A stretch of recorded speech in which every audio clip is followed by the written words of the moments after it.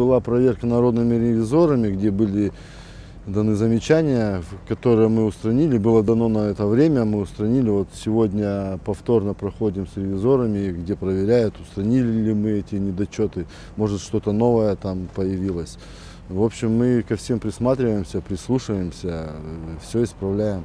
На данный момент вообще у нас все исправлено уже, оборудование уже поставлено. Изначально делается так, что сначала ставится оборудование, потом обрезинивается вся поверхность. Но так как оборудование у нас задержка была с оборудованием, мы пришли к решению, что нужно сначала э, положить резину, э, потому что позволяла погода. Потом ставим оборудование, потому что оборудование ставить можно в любую погоду, и зимой, и летом. А ложить резину можно только в положительную температуру. Вот, и, и эти пятки, мы написали гарантийное письмо, что мы эти пятки, все вот эти вот э, дырочки, пятки, где не доложили резину, оно в следующем году обязательно доложится.